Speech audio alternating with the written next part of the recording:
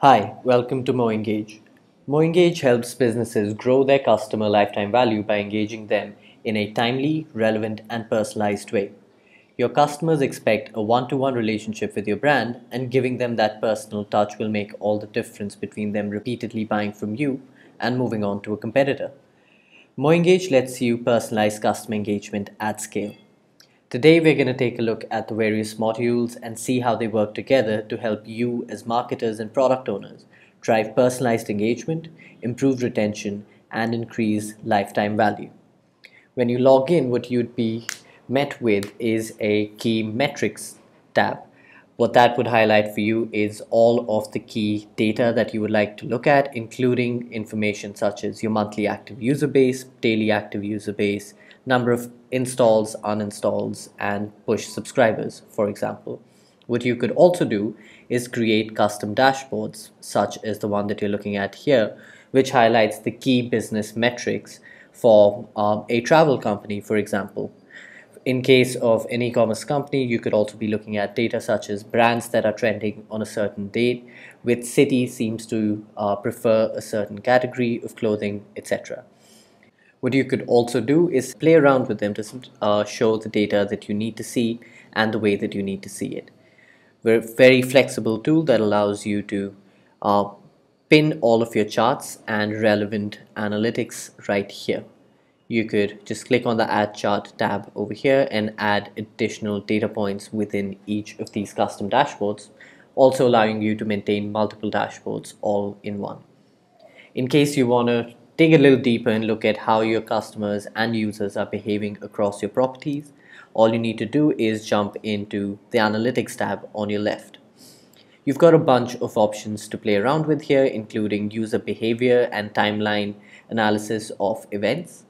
Funnels that allow you to view um, how users are behaving um, and do they follow through on a certain uh, sales funnel that you might have set up cohorts highlighting retention cohorts of course acquisition analysis as well as advanced uninstall analytics now to begin with what we uh, could see right here is the behavior tab what I've done is taken an example of a flight booking company and we want to look at how many flights were booked split by a destination.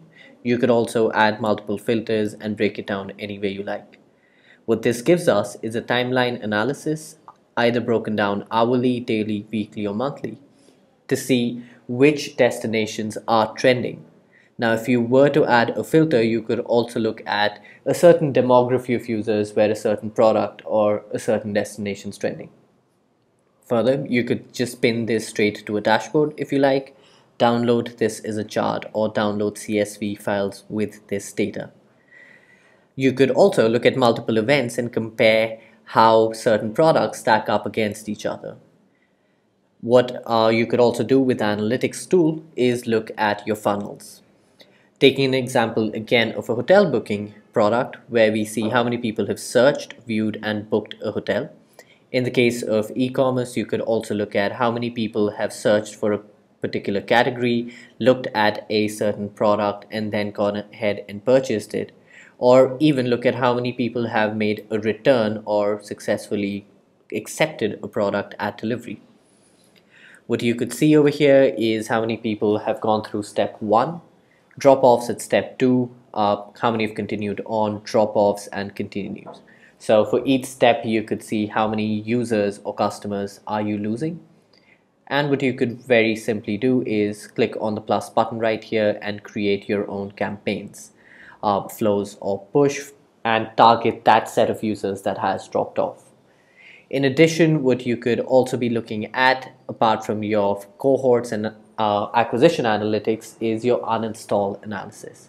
What this would show you is either a daily, weekly, monthly breakdown of how many users are uninstalling your app across different platforms and broken down by date ranges, of course. But what you could also do is break this down by attributes such as the number of sessions a user has had before they uninstalled, or which cities leading to uninstalls, or what's the lifetime value of the customers who are uninstalling your app within a certain date range. Additionally, you could also look at information like the lifetime in days before somebody uninstalls or how many days since the user was last active that has led to an uninstallation.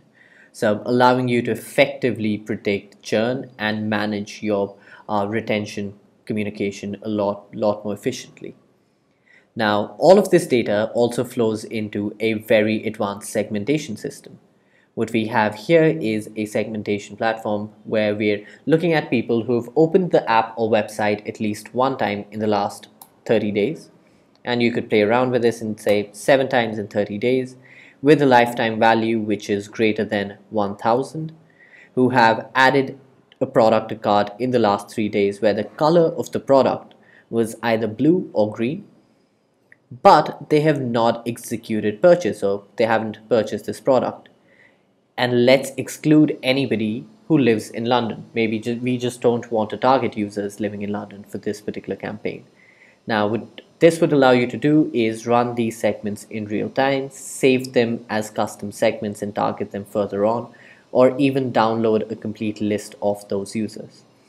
What you could additionally do is use an offline list, an Excel or a CSV, drag and drop it right here and upload that list of users where the system would actually stitch together this offline user profile along with the online profiles that you've built.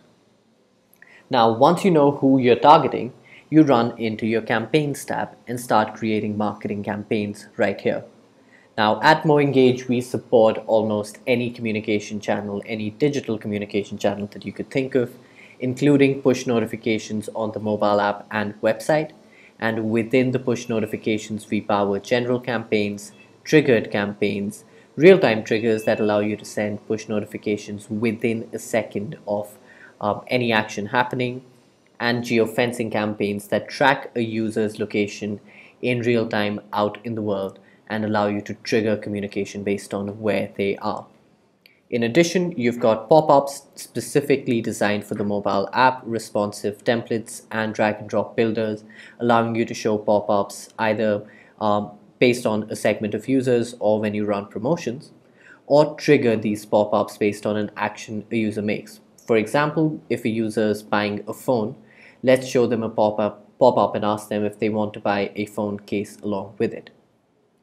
What you could also do is run email campaigns with MoEngage with drag and drop and WYSIWYG builders build, allowing you to send emails either promotional mailers or newsletters, or again, we could do smart trigger mails to, let's say, somebody who has uninstalled your app. Let's send them an email and ask them what went wrong and offer them a promotion to come back. In addition, you've got SMS campaigns that allow you to personalize at scale and also track clicks on your SMSs and connector campaigns, which is a very versatile system allowing you to uh, send data or communication via Facebook ads, Google ads, WhatsApp, Facebook Messenger, or any other ad network or social messenger that you can think of, including sending data back into your internal systems as well. Additionally, we've got on-site messaging and web personalization that allows you to show pop-ups or completely personalize the website look and feel based on who the user is and what their context is. Now, bringing all of this together are the flows. The flows are cross-channel automations. Uh, so what these allow you to do is orchestrate a user's journey and help you guide them through the best path for your business. For example, taking a cart abandonment journey, what we could do is add an entry condition that says if a user adds a product to cart but does not successfully complete the order, let's send them a push notification after five minutes asking them if they just forgot the product in their cart and if they're still interested. If they click on that notification, let's wait to see if they make the purchase. If yes, let's stop because we've achieved our goal. If no, let's follow up again. On the other hand, we could choose to go the email route to follow up with a user, check if they received, opened, clicked. If that doesn't work, let's continue on sending them communications through other channels, efficiently guiding them through the process that you want them to follow. And what that would also allow you to view is a analysis of how many users have entered a particular journey, which stage they're currently at, your results from each stage, and which branches are working, helping you see which channels of communication work the best for you. Now, throughout all of the campaigns that MoEngage powers, what you would see is an AI and machine learning built layer that we call Sherpa. What Sherpa would right now allow you to do is efficiently allow the system to pick the right time to send a message based on who the user is, where they are, and what their context is. And what Sherpa can also assist you in doing is figuring out the right content to send that user based on uh, your conversion goals, which can also be customized. So that's it for today, and we're just scratching the surface here. You can run campaigns across the customer's journey, right from the onboarding to new users and sending personalized product recommendations to driving app store ratings and running referral programs to grow your user base. So that was a brief of the MoEngage platform. We'll be discussing each of these modules in detail in further videos. So stay tuned and subscribe to us. And if you have any questions, you can always write into us at support at moengage.com. And we'll see you soon with the next video.